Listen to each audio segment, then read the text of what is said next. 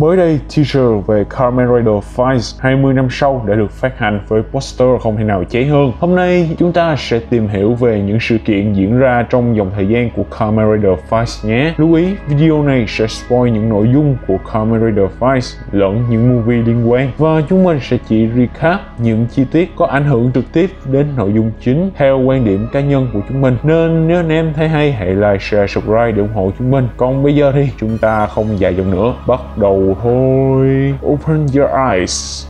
Hey Ross, sauce it up. Pull up in a ride, yeah, painted with some decals. I ain't never stop, can't be trusting any females. TV series Kamen Vice trong xã hội loài người hiện đại vào năm 2004, một dạng tiến hóa đột biến đã dần xuất hiện trong thế giới của loài người, một trong những tập đoàn lớn nhất trên thế giới với sự phát triển về công nghệ cực kỳ hiện đại. Smart Brain đã phát hiện ra dạng sống kia, đó chính là các Ophenop, một sự tiến hóa của loài người sau khi trải qua cái chết. Chủ tịch của tập đoàn này là ông Hanagata đã trở thành God Ophenop với mục tiêu giúp cho giống loài này phát triển mạnh mẽ hơn nữa. Hanagata đã tạo ra ba chiếc thắt lưng mang sức mạnh của công nghệ hiện đại là Phase Gear, Kaisa Gear và Delta Gear với phong bạc rằng đây là những thiết bị được tạo ra nhằm bảo vệ con người. Đồng thời, lão chủ tịch đã lập nên trường tư thục Ryusei, nơi cư trú của những đứa trẻ mù côi. Nhân đạo là vậy, nhưng tất cả chỉ để phục vụ cho mục đích thí nghiệm vô nhân tính của tập đoàn Smart Brain. Trong chuyến du lịch đó đây, Takumi Inui, một thanh niên lang thang khắp nơi, đã gặp được Mary Sonoda, một trong những học sinh cũ của trường tư thục Ryusei. Không thể tình cờ hơn thì hai người này đã liên tục lấy nhầm ba lô của nhau. Ai biết được rằng trong chiếc ba lô kia lại chứa một vật vô cùng quan trọng, đó là Five Years. Và đây cũng là lý do khiến Mary trở thành mục tiêu của các Orphanop. Một lần vô tình,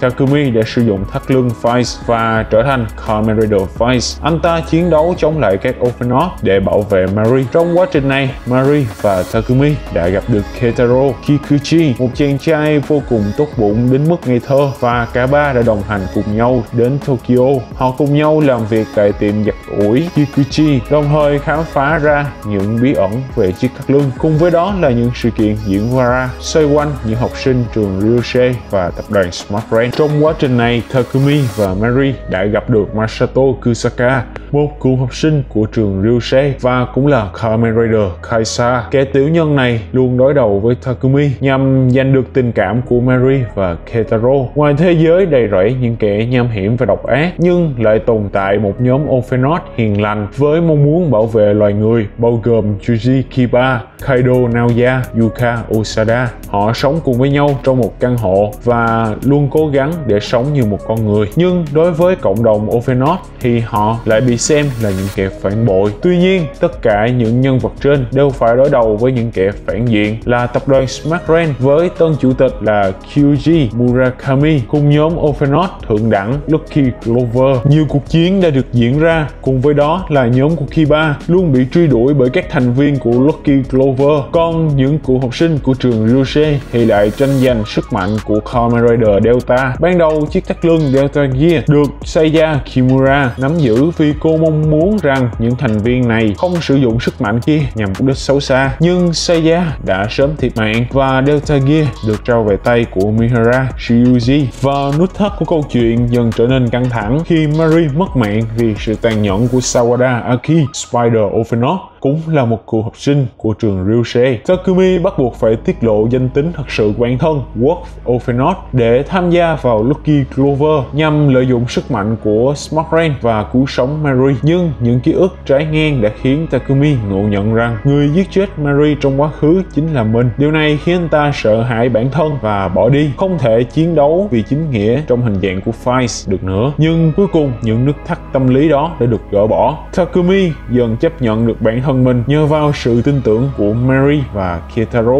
Với sức mạnh của Fine Blaster cùng sự tập hợp của cả ba chiếc thắt lưng thì phe chính diện gần như giành được nhiều ưu thế trong cuộc chiến giống loài này. Những bí mật về các Ophenot được tiết lộ bởi chính cựu chủ tịch của Sparkren là Hanagata. Ban đầu lão này chỉ tính sử dụng những đứa trẻ của trường Ryusei nhằm thí nghiệm và tạo ra vị vua của Ophenot. Những chiếc thắt lưng được tạo ra không phải để bảo vệ loài người mà nhiệm vụ của Delta, Kai. Kaisa Vice chính là bảo vệ cho vua của Ophenot khỏi đồng loại của hắn. Bởi vì tuổi thọ của các Ophenot rất ngắn, nên chúng phải nhờ vào sức mạnh của King để gia tăng tuổi thọ của mình. Và Kyuji Murakami cùng Lucky Clover đang theo đuổi sứ mệnh này. Nhưng trên thực tế thì giống loài này vẫn có nguy cơ tuyệt chủng rất cao vì thức ăn của vua chính là đồng loại của hắn. Hanagata đã nhìn thấy những vấn đề này, cho nên ông mới truyền lại những chiếc thắt lưng cho những đứa trẻ ở trường Ryusei với hy vọng rằng họ có thể tiêu diệt King Orphanot và đặt dấu chấm hết cho chủng loài đột biến này. Ở giai đoạn cuối phim, Masato Kusaka đã bại trận trước Lucky Clover và Kiba Juji, người được Hanagata bổ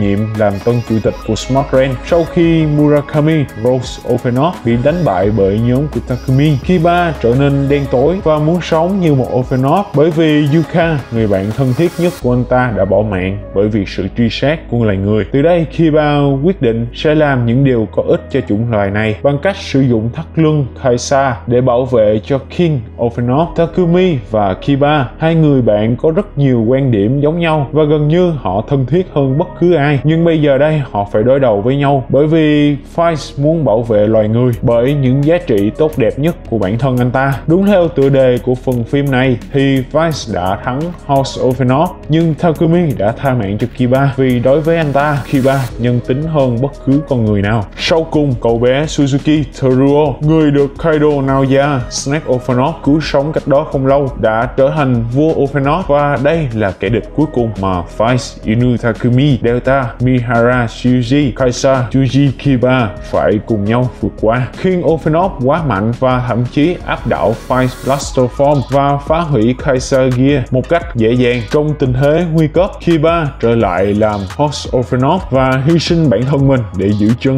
King hỗ trợ cho Takumi tung một đòn tất sát quyết định. Câu chuyện khép lại khi King bị đánh bại, Kaido mất đi Kiba và Yuka nhưng vẫn muốn là một con người hợp tốt. Takumi cùng Mari và Ketaro nghỉ ngơi trên ngọn đồi và tiếp tục mơ mộng về giấc mơ sẽ tẩy trắng thế giới này khỏi những điều xấu xa. Mặc kệ cho bàn tay của Takumi đang có dấu hiệu tan rã và dần trở thành các bụi. Lost World thực tại của SIC Hero Saga. Đây là một thực tại thay thế nhằm liên kết những diễn biến hiện tại trong tập 25 của TV series với movie The Paradise Lost. Tại dòng timeline này, Smart Rain đã đưa ra một kế hoạch đáng sợ hơn rất nhiều. Cụ thể là chủ tịch Murakami hay Crow Ophenov đã quyết định mở rộng quá trình biến đổi nhân loại thành Ophinot bằng cách tặng những bó hoa màu xanh dương đến các hộ gia đình trong thành phố. Điều này đã khiến rất nhiều người trở thành Ophinot. Hanagata ở thực tại này đã không lấy cắp thiết bị Firestarter và Murakami đã tìm ra và sử dụng sức mạnh của thiết bị siêu việt này kết hợp với những thắt lưng Royal Trooper do Hanagata phát triển nhằm thu hồi ba chiếc thắt lưng vốn thuộc về tập đoàn Smart Rain. Và trong câu chuyện này, Masato Kusaka cả vì tình yêu mù quáng của bản thân mình với Mary đã ghen tuông vớ vẩn và đẩy bạn học cũ của mình là Mihira Shuji hay Kamen Rider Delta vào sự bao vây của đám Royal Trapper do Rose Ophenov dẫn đầu. Và điều này đã khiến Mihara thiệt mạng. Cùng với đó là sự thất lạc của Fine Blaster và Delta Gear. Takumi không chấp nhận được việc những người dân đã bị Smart Rain biến đổi thành Ophenov Vice nhận sức mạnh của Fine Blaster từ Mary và trở thành Fine Blaster Storm nhằm đánh bại Rose Ophenot nhưng hắn vẫn sống sót với một chiếc đầu còn tồn tại. Câu chuyện khép lại khi Leo, Lion Ophenot đã cứu mang Murakami và mang Delta Gear trở về Smart Rain bắt đầu một kế hoạch mới với bước đầu tiên là tạo ra thắt lưng hoàng đế nhờ những dữ liệu của Delta Gear. Mặc dù đây là phần tiểu thuyết SSC Hero Saga có liên kết trực tiếp với Paradise Lost, nhưng phần tiểu thuyết này lại ra mắt vào tháng 10 năm 2005 tức là hơn sau 2 năm kể từ khi movie Thiên đường lạc lối được ra mắt vào tháng 8 năm 2003. Cho nên đây chỉ là một câu chuyện nhằm liên kết TV series và movie Paradise Lost mà thôi. Paradise Lost tiếp nối những sự kiện diễn ra trong Lost World bằng một cách nào đó, thì cả thế giới này đã tràn ngập những sinh vật đột biến Ophenot dưới sự phát triển của tập đoàn Smart con người chỉ là thiểu số với hơn 2.000 dân số tồn tại. Họ cố gắng chống trả, nhưng có vẻ như niềm tin của họ đã mất đi phần nào. Kể từ khi Kamen Rider Vice Inu Takumi bị đánh bại và mất tích trong cuộc chiến chống lại các Royal Trooper, những người còn lại chính là những nhân vật quen thuộc của chúng ta. Mari Sonoda Naoya, Keitaro Kikuchi, Masato Kusaka hay Kamen Rider Kaisa. Họ thành lập một nhóm phiến quân và tham gia vào các hoạt động cách mạng nhằm chống trả lại các Ophenot. Mari vẫn là người nắm giữ Fire Gear bởi vì không ai có thể sử dụng được nó. Một tin đồn khác còn làm niềm tin của nhân loại lung lay hơn nữa chính là Smart Ren đang nắm giữ sức mạnh của thắt lưng hoàng đế, một sức mạnh vượt trội hơn những gì con người có thể tưởng tượng ra được. Trong một cuộc tấn công của các Royal Trooper nhằm tìm ra những kẻ làm cách mạng, Masato Kusaka đã tiếp tục chiến đấu với vai trò là Kamen Rider Kaisa. Và đây là khi anh chịu thất bại trước Kamen Rider Saiga do Leo Lion Ophenot biến đổi thành. Và đây cũng là đánh dấu lần đầu tiên xuất hiện của nhóm Ophenot trung lập của Kiba Juji bao gồm cả Kaido, Naoya và Yuka Osada. Cùng tham chiến họ đánh đuổi Leo ngăn cản hắn tiêu diệt bạn bè của mình. Nhưng Ophenot này vẫn tin rằng một ngày nào đó con con người sẽ cùng Ophenos sống hòa thuận với nhau, nhưng có vẻ như những mâu thuẫn là quá lớn. Những kẻ trong đám phiên quân và người dân vô tội dường như không thể tin tưởng được Ophenos mặt khác, Takumi vẫn sống sót sau trận chiến với các Royal Trooper và bị tách khỏi Mary. Anh lưu lạc và được cứu sống bởi một nhà khoa học của Smart Rain lúc này, những ký ức giả được cấy ghép vào Takumi, khiến anh trở thành một con người mới với cái tên Takeshi. Với mục đích rằng, anh sẽ chăm sóc cho cô con gái Mina của của nhà khoa học này sau khi ông ta qua đời. Trong một buổi dạ tiệc ngoài trời, Takeshi đã có cuộc hẹn với Mina. Cả hai sẽ khiêu vũ với nhau vào tối hôm ấy. Nhưng bởi vì Mina đến trễ, nên Takeshi đã khiêu vũ cùng cô gái duy nhất, đó chính là Mary. Và đó là trước khi đám Trial Trooper bao vây lấy họ. Với những ký ức quen thuộc từ Mary, Takumi đã lấy lại được ký ức và biến đổi thành Vice một lần nữa. Anh ta dễ dàng tiêu diệt đám Trial Trooper để bảo vệ Mary. Ngay sau đó, cả hai đã tái họp với quân cách mạng. Nhưng thay vì tin vào lời đồn huyền thoại về Vice thì những kẻ ham muốn sức mạnh như Mizuhara đã tìm ra cách để ly gián mọi người, khiến cho mọi người nghi ngờ Takumi nhằm chiếm đoạt Vice Gear. Takumi gặp lại Mina và biết được sự thật về bản thân mình. Mina đã kịp đưa cho Takumi Vice Blaster, sau đó che chở cho anh khỏi làn đạn của Mizuhara. Kẻ đến để lấy cắp Vice Gear, nhưng nhờ vào sự can thiệp của Kiba, nên chiếc thắt lưng đã được thu hồi cùng với đó là cái chết của tên hèn hạ Mizuhara. Smartren triệu tập nhóm của Kiba đến để thương lượng về vấn đề chung sống hòa bình, nhưng họ sớm nhận ra rằng đây là một cái bẫy. Yuka và Kaido đã mất mạng khi chiến đấu với một Ophenot khổng lồ. Kiba thì sống sót, nhưng anh bị lừa dối rằng chính Mary đã gài bẫy họ. Và từ đây, anh ta quyết định sống như một Ophenot trong lúc này, Leo tấn công nơi trú ẩn của con người và bắt cóc Mary nhằm tế sống cô ấy. Bởi vì Smartren muốn thách thức huyền thoại về Vice và xóa bỏ những hy vọng cuối cùng của con người. Tại một sân vận động với những cổ động viên là các Ophenor, Takumi đã đến để giải cứu Mary và kẻ thù đầu tiên mà anh ta phải đối mặt chính là Saiga. Sau một hồi tranh đấu thì Takumi đã giành chiến thắng trong phút chốc và tiêu diệt thành công Leo. Tuy nhiên, phần hay vẫn còn ở phía sau. Kiba Yuji đã xuất hiện với thắt lưng hoàng đế và biến đổi thành Kamen Rider Oga. Kiba lao đến tấn công Takumi bởi vì sự chênh lệch về sức mạnh quá lớn. Kiba đã khiến khiến Vice trở về hình dạng con người, không còn cách nào khác để chống trả. Takumi buộc phải biến đổi thành hình dạng nguyên thủy của mình là Wolf Ophenot trước sự chứng kiến của Mary. Kiba cũng biến đổi thành Host Ophenot và cả hai tiếp tục cuộc chiến với nhau. Takumi hỏi về ước mơ. Kiba lại cho rằng anh ta không bận tâm nữa. Anh ta sẽ giết Takumi kể cả khi cậu có là Ophenot. Cuộc chiến giữa hai người bạn thân lại diễn ra với phần thua nghiêng về Vice. Trận đấu chỉ sớm đổi chiều khi Takumi lắng nghe những lời khích lệ của Mary về sứ mệnh của bản thân mình. Anh sử dụng Fire Blaster truy cập vào hình thái Blaster Form và đánh bại Kiba trước sự kinh sợ của những khán giả nơi đây. Nhưng khi Mary suýt bị ăn thịt bởi tên Ophenot khổng lồ đã giết chết Yuka và Kaido, Kamen Rider Oga đã kịp đến và giải cứu cho Mary, hỗ trợ cho Fight tung đòn tất sát để hạ gục kẻ thù. Kiba đã chết trong vòng tay của Takumi và phần phim điện ảnh này khép lại khi Murakami bị Smugger tiêu diệt. Sau đó, Takumi nắm tay của Mary và bước về tương lai. Phía trước, Kamen Rider Vice Novel Deformed Flowers. Đây là câu chuyện tình cảm sức mướt nhưng không kém phần kinh dị. Câu chuyện xoay quanh mối tình của Mary và Kiba đã được đề cập thoáng qua trong tập 22 của TV series. Mọi thứ diễn ra khá tương tự như trong Kamen Rider Vice. Takumi vẫn sống cùng Mary và Ketaro tại tiệm giặt ủi. Anh ta cũng trở thành Kamen Rider Vice để tiêu diệt các Ophenot. Kiba Kiba và Yuka lẫn Kaido vẫn sống cùng với nhau. Kiba thường chiến đấu với các Ophenot khác để bảo vệ loài người. Mary và Kiba đã hẹn hò với nhau vì những giá trị riêng của bản thân mình. Ketaro cùng Yuka cũng hẹn hò và dành nhiều tình cảm cho nhau, hệt như trong TV series vậy. Nhưng thật không may, Mary đã vô tình biết được Kiba là Ophenot và điều tệ hại hơn là cô ấy lại cảm thấy sợ hãi vì điều đó. Những tấm bi kịch bắt đầu xảy ra khi Mary và Takumi gặp được Saya Kimura. Tại dòng timeline này, cô ấy là một trong những orphanot từng sống cùng những sinh viên khác tại trường Ryusei. Cô ta cũng là bạn gái của Kusaka Masato ở dòng timeline này. Saya cảnh báo rằng có một tổ chức rất lớn đã tạo ra rất nhiều Kaisagear với mục đích tiêu diệt các orphanot và Masato là một trong số đó. Với mục đích tiêu diệt các orphanot của bản thân mình, Kusaka đã hạ sát Yuka Ren Orphanot khi cô ấy mang thai con trai của Ketaro và điều này đã khiến Kiba Juji gần như chìm vào bóng tối. Anh ta tiến đến và tấn công Kusaka, biến kẻ si tình này thành người tàn phế trước khi Takumi và Mary kịp can thiệp. Tuy nhiên, Vice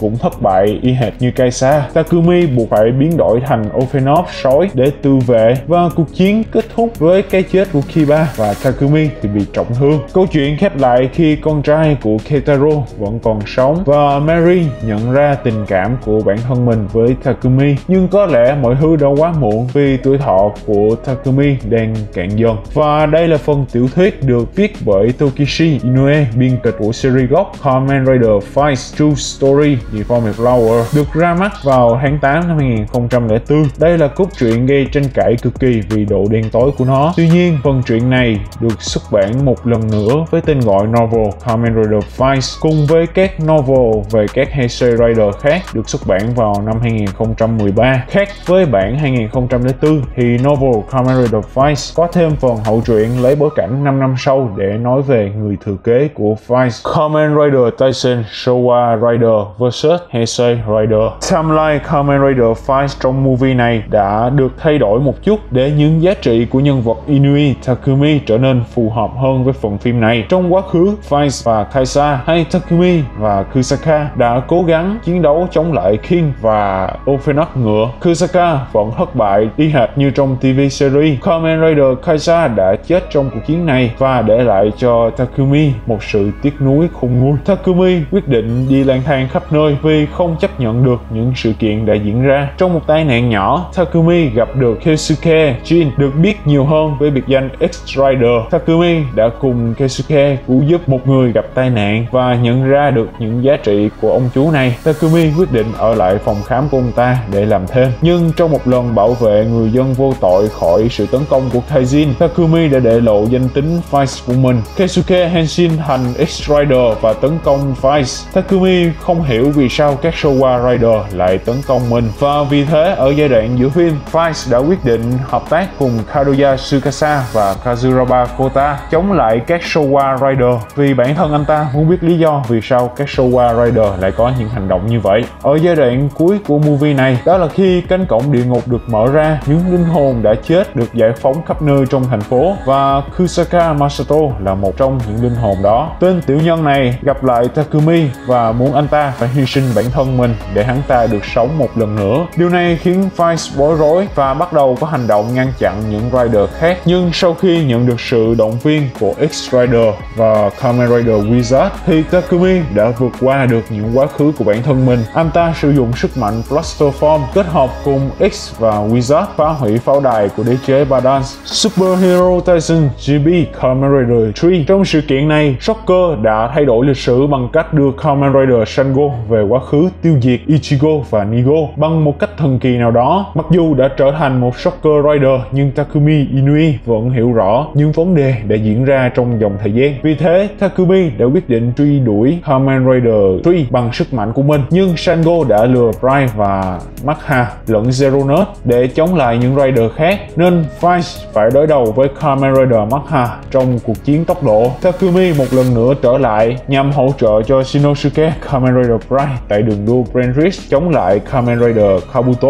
Special Kamen Rider Yongo sau cái chết của Go Shijima trong Super Hero Tyson GB Kamen Rider 3. Mặc dù Shocker đã bị đánh bại, nhưng bằng cách nào đó cũng mấy thời gian dùng để thay đổi quá khứ của chúng vẫn còn hoạt động và không hiểu lý do vì sao mà Go vẫn còn sống. Mỗi khi có một ai đó chết đi thì dòng thời gian lại được tái thiết lập. Điều này khiến Shocker có rất nhiều thời gian để xây dựng lại hạm đội của mình. Chúng đã tạo ra Kamen Rider 4, một chiến binh siêu mạnh. Nhưng sau khi Takumi trò chuyện cùng Kaido Naoya thì anh mới bắt đầu hiểu ra dần vấn đề. Cùng với đó là sự giải thích của các rider khác rằng cỗ máy thời gian kia liên kết với ý thức của Vice. Những khát vọng cứu sống con người của anh đã khiến lịch sử lặp đi lặp lặp lại rất nhiều lần theo mong muốn của Shocker. Tuy nhiên, Takumi vẫn tiếp tục chiến đấu dù cho biết rằng khi cỗ máy thời gian kia bị hủy diệt thì ý thức và sự tồn tại của anh ta cũng sẽ bị xóa bỏ. Nhưng để làm được điều đó thì đối thủ mà Takumi phải đối mặt chính là Snake Ophenor. Kaido lúc này quyết định ngăn cản Vice vì không muốn Takumi phải biến mất. Tuy nhiên, đây là quyết định của Inui Takumi. Vice đã đánh bại Ophenor rắn. Sau đó anh ta đã tiêu diệt ý thức của mình và Kamen Rider Vice gần như biến mất khỏi dòng thời gian lịch sử. Kamen Rider Zio Trong Kamen Rider Zio, timeline của Vice một lần nữa lại bị thay đổi bởi ảnh hưởng của Omazio và sự can thiệp của các Time Jacker lên dòng thời gian. Các Ophenor lẫn Kamen Rider Vice